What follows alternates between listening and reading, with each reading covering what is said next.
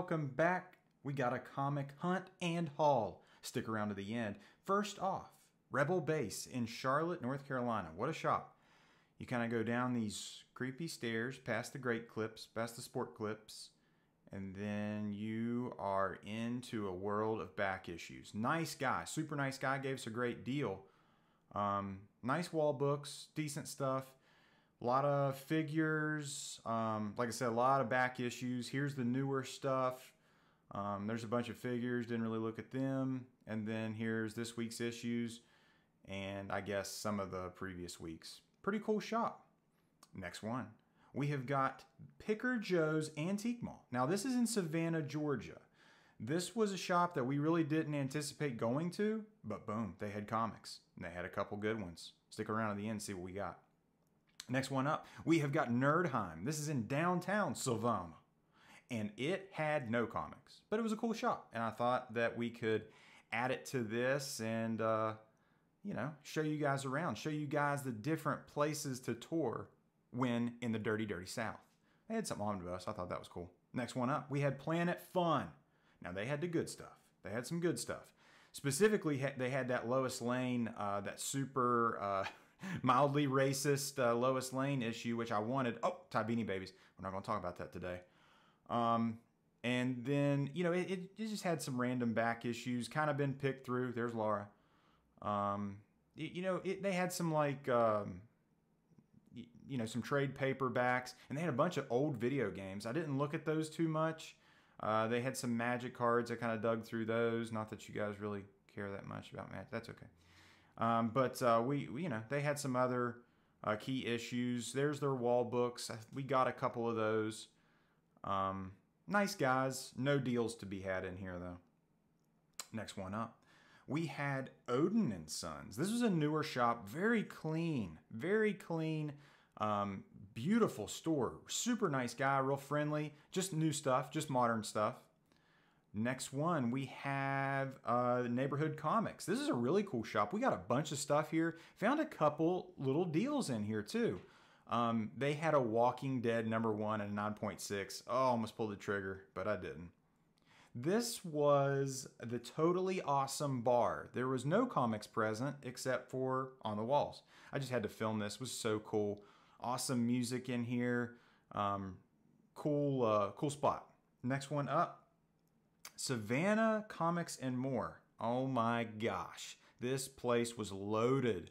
It had back issues, Silver Age. I might have had even Golden Age stuff in there. I mean, it was it was so much, and we were digging, digging, digging, and we were looking at the prices, and I was like, surely these aren't these aren't the actual prices. I took them up to the counter. Guy said, "Yeah, those are the, those are the prices." My jaw literally hit the floor. We bought nothing here. Last but certainly not least, Echo Base. This guy was a former uh, showgoer, and he had a collection of 0.5 slabs, as you can see right there. That was so cool. Huge wall books, all keys. We picked up some major stuff. There's a little teaser right there if you didn't see those. Um, there's lovely Laura. And then, yeah, I mean, that was the haul, man. Oh, certainly not least, we found Ty Beanie Babies. You know we're investing heavily in Ty Beanie Babies. They had the bears. They had the oversized monkey. They had the oversized lamb. They had the oversized bunny. Get Beanie Babies now while they're hot. All right. This is why you guys are here. We have got the haul. So these amazing Spider-Man issues we got from the Rebel base in Charlotte. Um, that's a second print of uh, First Silver Sable. A lot of ASM issues that we needed to fill our run. Um, you know, we're putting together a run you know, I'd, I'd like to put together one through 400 of ASM, if I'm being honest. I don't have a lot of double digit ASM, but I have most of the keys from 100 on, um, you know, 300, 129, um, 179. You know, the, the big ones, I, I have most of them. Um, these are great covers. These are those McFarlane uh, issues. So I, I've had the hardest time finding those. And this is when it switches over into, uh, I believe, Larsen. Oh, there's the last uh, McFarlane issue. I love that cover, Hulk, uh, Hulk cover. Um, uh, yeah, I haven't been able to find those. Then it gets kind of into Punisher. Um, but yeah, we picked up a lot of McFarlane issues from a couple different runs here, which we'll get to here so- shortly. But most of, if not all of these, were from Rebel Base in Charlotte, North Carolina. Um, it was so funny because it was like we had this big, you know, list of shops we wanted to go to, but the Rebel Base was by far the best and with the best deals. The guy knocked off 25%, which was fantastic. Here I'm trying to trying to get these books out and show you guys what we got here, trying to show you the covers a little bit cleaner. But um, yeah, I mean, it was it was definitely the best shop. But there were some other places that were were pretty good too, and we'll we'll get to those here. Um, more late. Oh, there's a Moon Knight cover. Yep.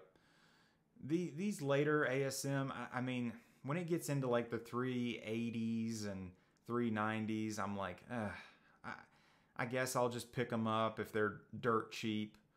Um, you know, I, I don't love that ASM, you know, part of the run, but this this is this is the these are when it gets good here. Um, right around after 361. Uh, that's a good Venom cover. That one's a little beat. That fo- uh, that foil cover. That I can't remember the significance of that issue, but it's a key.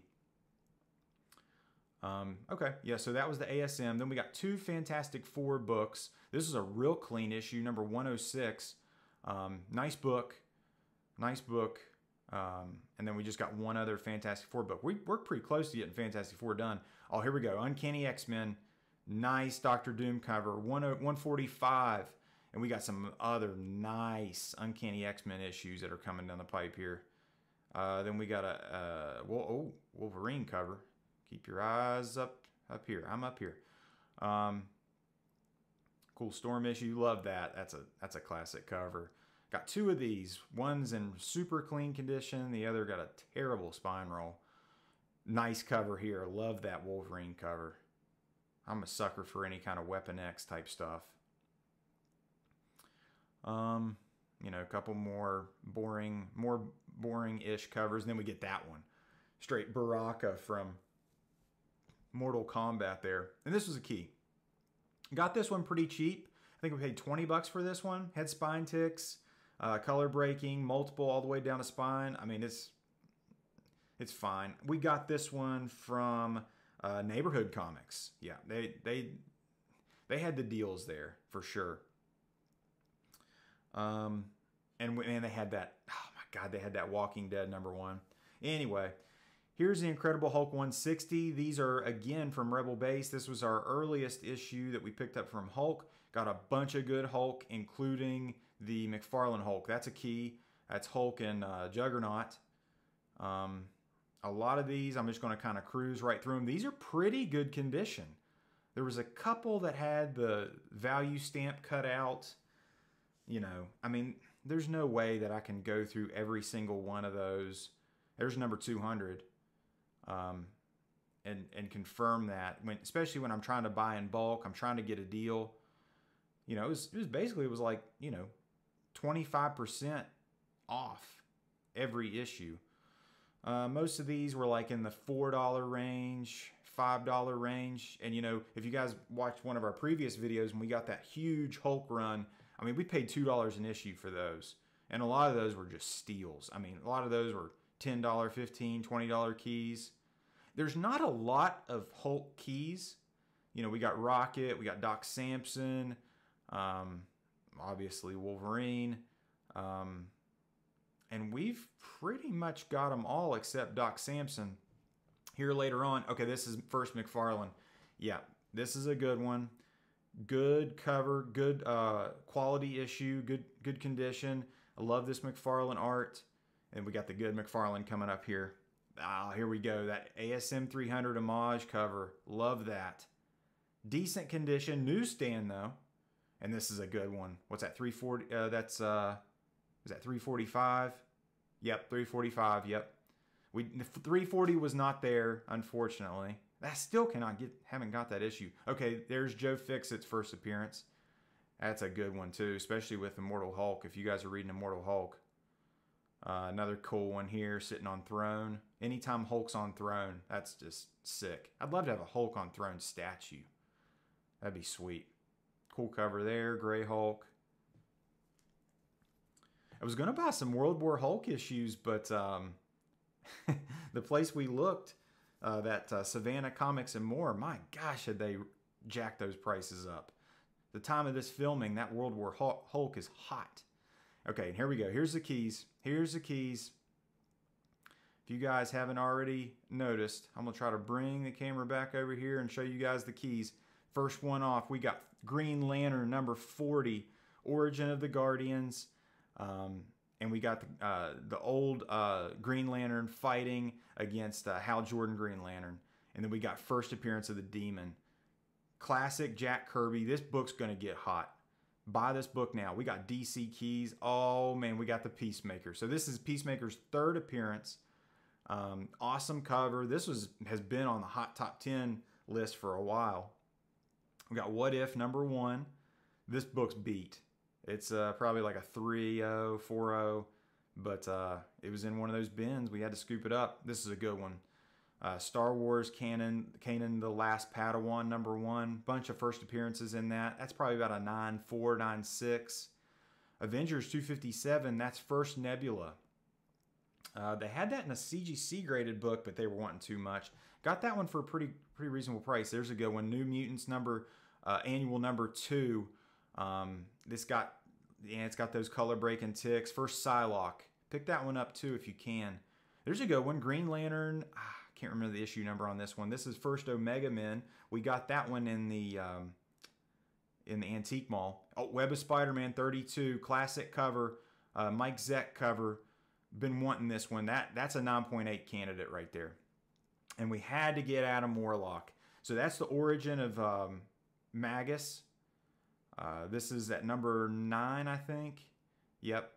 And then we've got Strange Tales featuring Adam Warlock, number tw- uh, number 178. That's kind of a mid grade-ish. And then we got the Warlock in, uh, and the Infinity Watch um, this is the events that hap- happen after the Infinity Gauntlet. I got 1 through 13, and I got two copies of 1. Not a super rare book, but anything Warlock, you, you want to pick that up now because he's been cast, you know he's coming, and it's going to be awesome. And then here's just some Ice Cream Man stuff that I got, you know, just some variant covers. I'm a sucker for any variant uh, Ice Cream Man books. And then we got this sweet, very rare Planet Hulk Omnibus. Um, man, this thing's out of print, has been for years. Awesome. Thank you guys for watching. Take care.